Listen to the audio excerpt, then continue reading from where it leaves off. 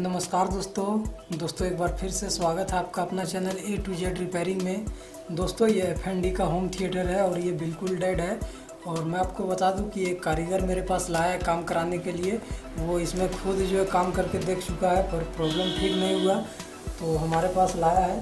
तो देखते हैं। तो सबसे पहले तो मैं आपको बता दूँ कि इसमें लाइन देने के बाद में ये एलईडी जो हमारा ग्लो होता है। और ग्लो होने के क्या रीज़न है, ये भी मैं आपको दिखा देता हूँ। ये डेड है। ये पूरा खुला हुआ है, खुला हुआ लाया है। तो देख सकते हैं कि ये एसी वायर जो हमारा आया हुआ है, उसी में जो है ये एलईडी जो लगा हुआ है। तो इसीलिए ये एलईडी ग्लो होता है। तो सबसे पहले इसमें मैं आपको दिखा दूँ कि क्या क्या काम किया है। तो दोस्तों, इसमें जो आईसी खुला हुआ है, देख सकते हैं, और यहाँ का कपलर भी खुला हुआ है। मैं कैमरे को जूम करके दिखाता हूँ। तो देख सकते हैं, यहाँ का आईसी भी खुला हुआ है और यहाँ का कपलर खुला हुआ है। और यहाँ का एक रेजिस्टेंस भी जला हुआ है, जो कि डेढ़ सौ मेगा ओम का रेजिस्टेंस है। देख सकते हैं, ये रेजिस्टेंस जला हुआ है। और यहाँ का एक मॉसफेट होता है, सेवन एन तो ये भी खुला हुआ है। और ये जो भी कंपोनेंट खुला हुआ है, ये सारा ख़राब था तो इसको लगाया पर काम नहीं किया और काम नहीं करने का क्या रीज़न था, वो भी मैं आपको बता देता हूँ। तो देख सकते हैं, यहाँ पे एक रेजिस्टेंस है एस एम रेजिस्टेंस मैं आपको पावर ग्लास से दिखाता हूँ। ये रेजिस्टेंस जो है, जला हुआ है। और ये रेजिस्टेंस जला हुआ होने के कारण शायद उसको पता नहीं था, जिसके कारण ये सेट ऑन नहीं कर पाया। तो अभी मैं इसमें ज़्यादा दिमाग लगाने वाला नहीं हूँ, क्योंकि इसका जो आईसी होता है वो बहुत ही महँगा होता है और यहाँ का मॉसफेट भी जो महँगा होता है तो उतना लगाने के बाद में हमारा पावर सप्लाई ऑन होगा कि नहीं, इसमें भी जो है डाउट है। तो इसके लिए जो है, इसमें मैं ट्रांसफार्मर लगा करके सेट को ऑन करने वाला हूँ। इस तरह का जो ट्रांसफार्मर आता है होम थिएटर का, ये ट्रांसफार्मर मैं इसमें लगाने वाला हूँ। तो ये ट्रांसफार्मर को कैसे लगाते हैं, ये चलिए देखते हैं। तो दोस्तों, वीडियो को शुरू करने से पहले मैं आप लोगों से रिक्वेस्ट करना चाहूँगा कि यदि आप हमारे चैनल पर नए हो तो हमारे चैनल को सब्सक्राइब कर लें और साथ में बगल में जो बेल का आइकन दिख रहा है, उसे प्रेस कर ऑल नोटिफिकेशन को भी ऑन कर लें ताकि हमारी आने वाली वीडियो अब तक पहुँचे सबसे पहले। और दोस्तों, यदि हमारे चैनल को सब्सक्राइब कर लिए हैं तो बहुत बहुत धन्यवाद। तो ये ट्रांसफार्मर को इसमें लगाने के लिए सबसे पहले आपको क्या करना है ये जो छोटा वाला एस ट्रांसफार्मर है, इसको ओपन कर लेना है।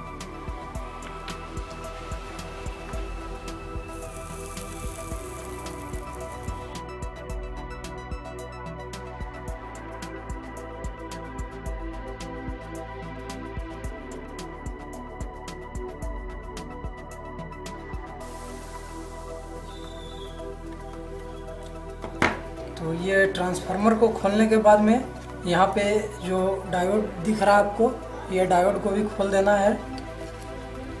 तो चलिए ये डायोड को भी खोल लेते हैं।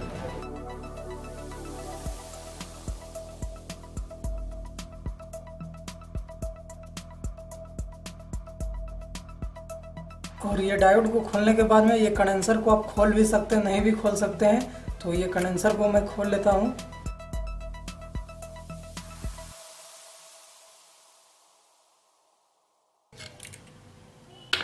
तो चलिए ये कंडेंसर को मैं खोल लिया हूँ और खोलने के बाद में अब क्या करना है? ये ट्रांसफार्मर को सबसे पहले बॉक्स में टाइट करना है।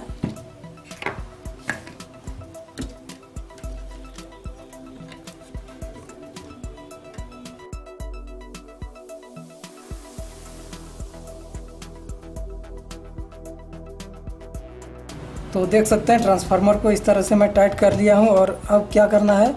कि ये किट में कनेक्शन करना है ट्रांसफार्मर का। तो सबसे पहले ये ट्रांसफार्मर का प्राइमरी वाइंडिंग है तो इसका कनेक्शन कहाँ पे करना है? तो देख सकते हैं, यहाँ पे एक चौक लगा हुआ है, ये चौक पे करना है, यहाँ पे।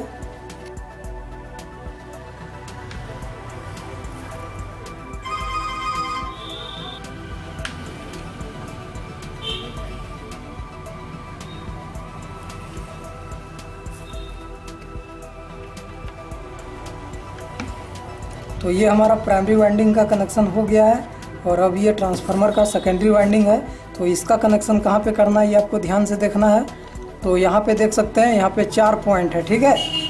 तो चार पॉइंट में जो बीच वाला दो पॉइंट है, ये दोनों शॉर्ट है और ये किनारे किनारे वाला अलग है। मतलब कुल मिला के यहाँ पे तीन कनेक्शन जाएगा। तो ये वाला कनेक्शन जो हमारा ट्रांसफार्मर का बीच वाला वायर है, ये बीच वाले पे कहीं भी जोड़ देना है, ये दोनों पिन हमारा शॉर्ट है, ठीक है?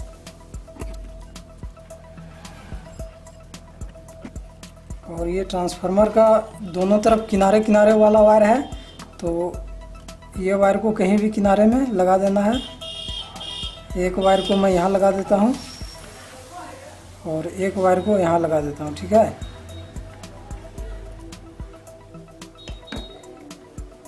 तो अब ये ट्रांसफार्मर का कनेक्शन हमारा कंप्लीट हो चुका है और अब ये जैक का कनेक्शन कर देना है।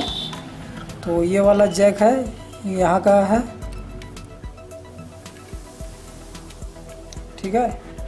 और ये वाला जो है, यहाँ का कनेक्शन है।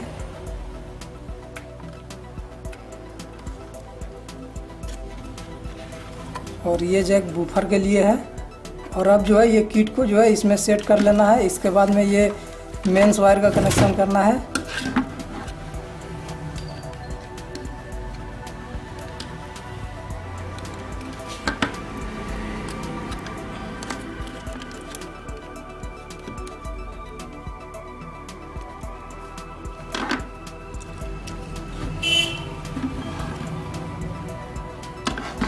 सबसे पहले ये जैक को, सारा जैक को खोल लेते हैं, पहले इसमें लगा लेते हैं।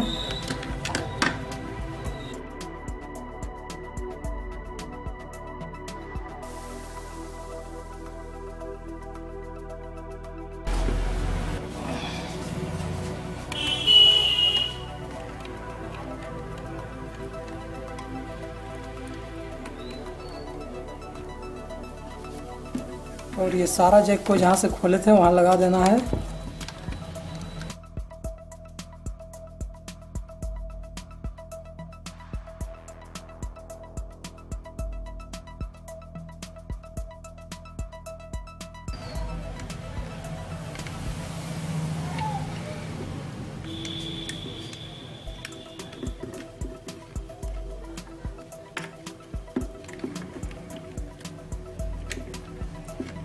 और ये हमारा एसी वायर का जो है जैक है, और ये हमारा एसी वायर का जेक और ये हमारा एसी वायर का जैक है तो तो एसी वायर का जैक